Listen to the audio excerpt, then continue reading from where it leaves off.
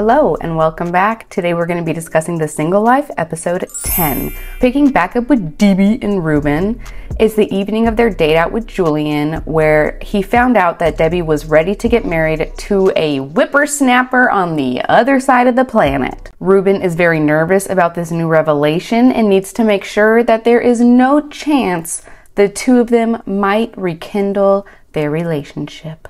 I don't want to spin my wheels and waste my time, you know, if there's something still lingering from her past. So he tells her that Julian has told him about Osama, and Debbie's just looking around with her eyes really big. Moved to Morocco for someone. Um, and then he. Like, what is that? then he says he heard that Osama was in his 20s, and Debbie's like, oh, no. He said that person was like 20 years old or something. No. No. Debbie, you're kind of sending some mixed signals here. Debbie is also getting a little irritated with her son always swooping in and snatching away her fun. This to be my moment to find true love. And I don't want Julian you know, messing it up. So she tells Ruben that she had a deep connection with Osama and he acted very mature for his age, but it didn't work out. And they have no romantic future, Ruben. And that was it that we got for Debbie. We're back with John. Hip hip hooray. Last week, we watched as John told his woman, You're my girl. I'm gonna come move down there with ya. I don't want to imagine my life without her and I'm willing to do whatever it takes to stay together. So, four days after telling her, he packed up all his magic wands and made the trip to San Antonio, Texas. He arrives at the house, and Megan is tickled. She is so happy to see him. It was actually really cute. I don't want to crash you. I'm in. I can't believe So they get him settled in. We learn that Megan sleeps with her daughter, or at the very least, she will be sleeping with her daughter for a little while until John has been there longer. It's really crazy if you think about it. Like, she's only seen him a few times in person, and now he's moving in. But at least she's sleeping with her daughter, though. Like, that makes me feel a little bit better. I think Megan's my soulmate, you know? I think everybody does have one, or maybe even a couple. Who knows? I'm glad I met Megan, and I think she's mine. The next morning, our sweet, sensitive John communicates to his beloved Megan that he didn't sleep well because he was all alone. So, did you sleep good? Meh, slept alone, so it wasn't the best, but. Megan's like, Of course, I want us sleeping in the same bed. Just give me some more time. He's like, Well, the sex can happen anywhere, sweetheart. I'm sorry. You didn't okay. sleep too well. Well, the sex, you don't have to be. Could be in a laundry room. She doesn't say much, and he reminds her that a healthy sex life is very important to him. She's like, mm, For real.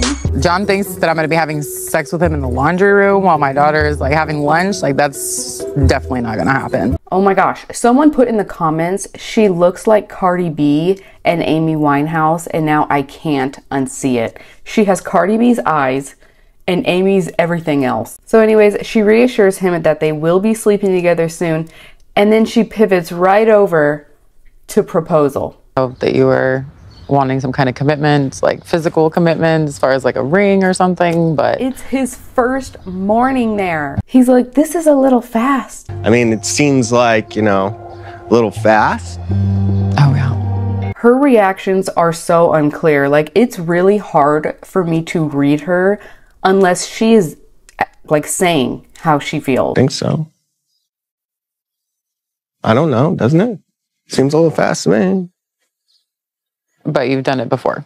Oh, no, no, no. Don't do that. Mm-mm. He wanted clarity on your feelings and you're trying to manipulate. He's like, Yeah, Megan, it was a mistake. Okay? A mistake.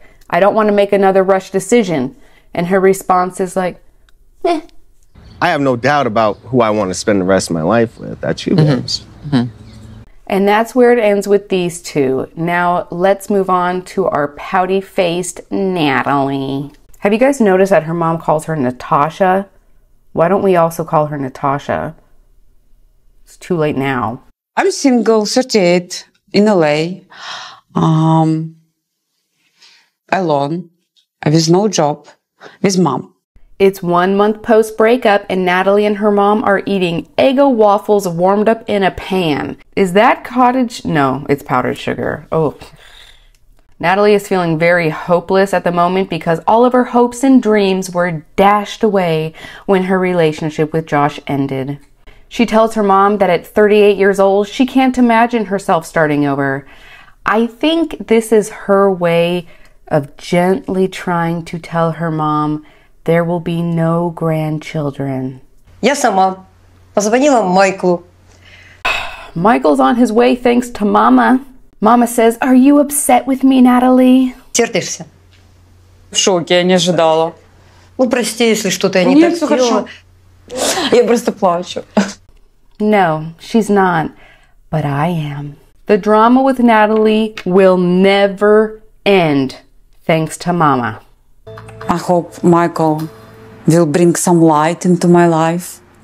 How does she remain so hopeful? I guess it's better than being miserable. I, I don't want to see her crying anymore. She is constantly crying. Mom starts going into how wonderful Michael is because he supported her and was her friend during the war and helped to get her out. Может, мы подружимся и сейчас? Майкл подружится, может быть, с нами. Может быть, еще все будет хорошо. Natalie is like, Mom, that's a really beautiful picture that you're painting, but Michael isn't interested in me anymore. Like, we're done. А он был так влюблен. Майкл не хочет меня. Давай посмотрим, Наташа. Oh, Lord, look at Natalie. This makes me so crazy because Natalie loves her mom so much. So she's going to go through with something she doesn't want to do for her mom's sake. And then Natalie will be the one left hurt and crying in the end. Может, он тебя любит. Даже вот через столько времени продолжает любить. Please tell me I'm not the only one going crazy listening to her. It's no wonder Natalie is so cuckoo. Время. Это идеальное время подружиться. Э, Вот тебе перспектива ребенка. Okay, I can't take it anymore. We have to move past this. Okay, Natalie grabs her mom's hand and says, Yes, mom, I will try and make up with Michael. I know Natalie and her mom both love me, and I love them. You know, I, I do. Um, we got history, so I felt a big sense of relief that Mama made it to America. Okay, they finally made it. Everyone is together sitting down. It's like a farmer's market. Natalie starts talking about why she moved to Los Angeles for work. Then she randomly says, It's strange because I moved here for you. It's just so funny because I came to America for you. Like, how is he even supposed to respond to that? Like, it was so awkward. I think at this point, he's questioning the purpose of this get together.